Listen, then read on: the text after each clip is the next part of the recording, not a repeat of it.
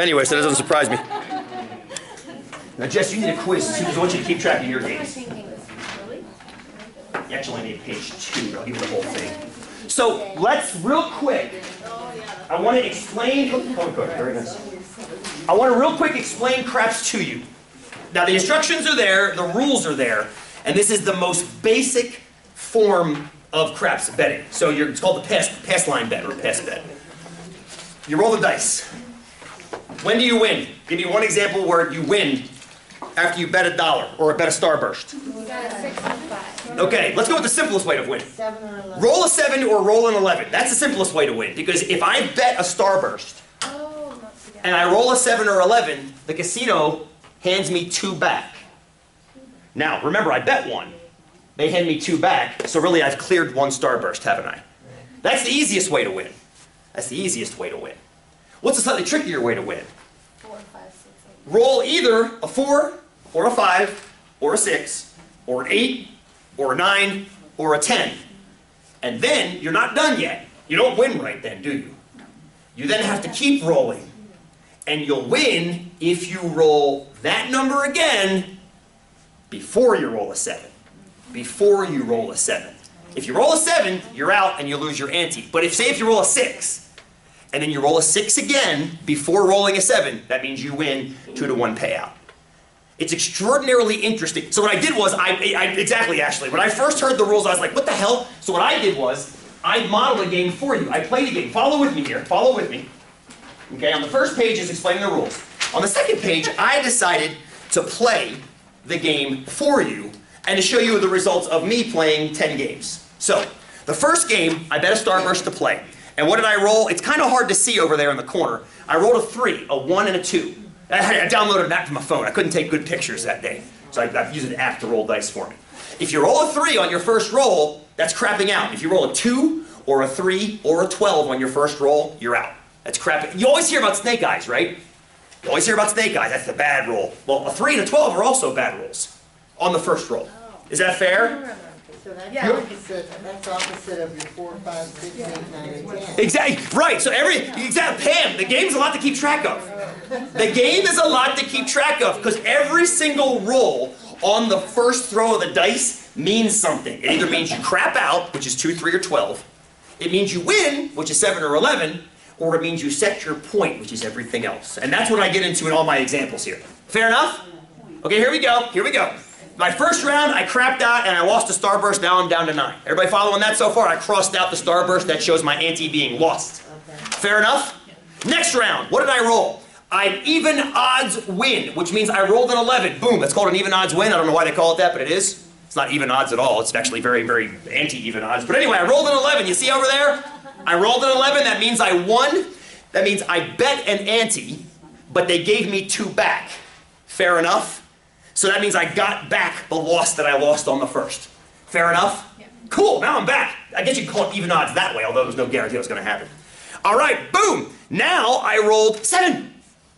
I rolled a seven, which means now if you count those starbursts, I'm up to 11. Round three, I rolled a seven. If you count those starbursts, one, two, three, four, five, six, seven, eight, nine, ten, eleven. I'm up to 11 now, which means I should stop playing. But we'll get back to that later. But I'm up now. I'm up a starburst. Goofy so far? But I'm making you play 10 times. Why? Two reasons. A, I'm a bastard, and B, I want you to analyze the mathematics of what happens when you play 10 times. A wise gambler will quit while he's ahead or she's ahead. But not all gamblers are wise. And that, that lack of wisdom helps us understand the game better. Cool? Keep playing! My first seven out. Okay, this is what happens when you roll a point first. Or this is what can happen. So you, the first roll over there, I rolled four and five, which means I rolled a nine, correct? Now my job is to roll nine again before rolling a seven. Unfortunately, I didn't. The next roll was a seven. And that means I lost. Seven is magic on the first roll, and it's shite any other time. Please, Ash. So get the same as the first one you rolled. Correct. It doesn't have to be correct. The same sum. It doesn't have to be a four and a five. Yeah. It could be a three and a six. But you have to get the same sum as your point in order to win that round. Jesse, Mimi, you guys are gonna play together. This is perfect. Grab ten starbursts. If you would, that's your, that's your bank, and then I'll be the bank for the rest. Okay, what are we up? That was my fourth round, yes? Okay, so now I'm back to 10, I believe, correct? Yes, I'm down to 10. Now, fifth round, I roll and I get a seven. Boom. One more starburst in my pocket. Back to 11. Yes. Back to 11. With me so far? See what's, what's happening here? Okay. Sixth round. This is a this is totally freaking workout. Total freaking workout. Look what I rolled first. I rolled a 10. Next roll, I rolled a 9. That roll doesn't matter because it's not a 10 nor is it a 7. Then you keep rolling until you either get a 10 or a 7. So I keep going. Then I got snake eyes. Guess what? Snake eyes doesn't matter when you're in the point rounds. Snake eyes only matters on the first roll, right? Snake eyes does not have that evilness it has on the first roll within. Then I rolled a 6. Then I rolled a 3. Then I rolled a 6. Then I rolled a 3. Then I rolled a 3. Then I rolled a 6 again. And then I rolled a 7. Damn it. 7 is not what I wanted. Because a 7, when I'm shooting for a 10, is a bad thing. Yes? So you notice the starburst gets crossed off there. Oh, Whew, epic. You can see now why craps gets fun.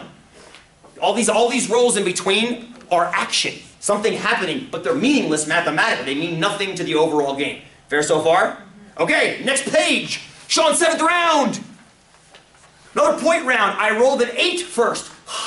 So then I gotta keep rolling. And then I rolled a nine. And then I rolled an 11. And then I rolled a two and a six. I got my eight back. So that's a point round, which means I won that one. So I get a starburst back. So you see what's happening each round? You're either giving a starburst up or you're getting a starburst back, essentially, is what's going on. You're either losing one or gaining one. Fair enough on the payouts? It's the same payouts we kind of messed around with on Wednesday with roulette when you're doing black, black versus red. All right, eighth round.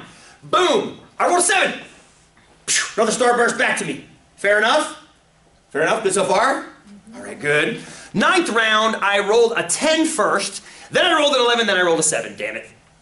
7 in the point round is a bad thing, yes? Good, so I'm off a starburst. And last 10th round, I rolled a 5, that's a point. Then I did a 10, and then I did a 9, and then I did a 7. So I lost another starburst. So what do I what do I end up with down here at the end of the day? One, two, three, four, five, six, seven, eight, nine, ten. I'm actually back where I started, aren't I? That's kind of fun. So now, what I did down at the bottom here was I kept track of what happened on each round, just like you guys will. On the on the last page of the quiz, you'll see a won and lost column for each of you guys. We'll get to that in a second. So I got lost one, one, lost one, lost one, one, lost, lost. So I ended up breaking even. Cool? But the thing is, that's only 10 observations of the game, which is hardly enough to actually analyze what's going on in the game. That's why we're playing it today. I want you guys to play it to collect some more data, and then when you're done playing, we'll regroup all our data together and see if we can come to any kind of conclusion. Maybe, maybe breaking even is what happens uh, on, on average.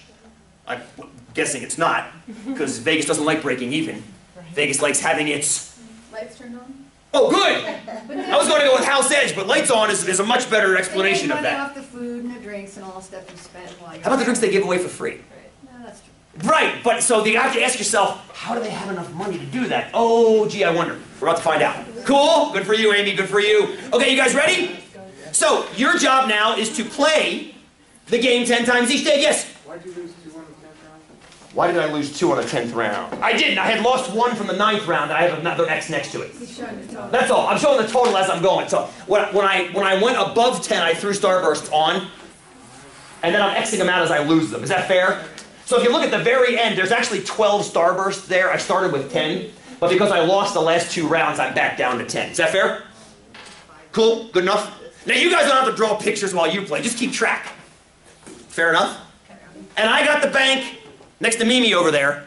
So as you guys are playing, if you need more, for example, if Mimi plays on the first round and wins, she's going to need a starburst given to her. Don't give them, don't give them uh, starburst out of your own 10.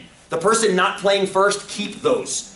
I want you to bet those 10, yes? I gave you 10 so you could bet one each game. I mean, you could lose one every single game, right? It's possible. Not probable, but it's possible you lose every single game, which means you'd have to have 10 to cover yourself and then walk out with nothing. So that's, that's why I want you to keep those 10. If more are needed, just grab me and I'll come around with the bank. Cool? Okay. Make sense? Gamble! Go! Have fun! Gamble!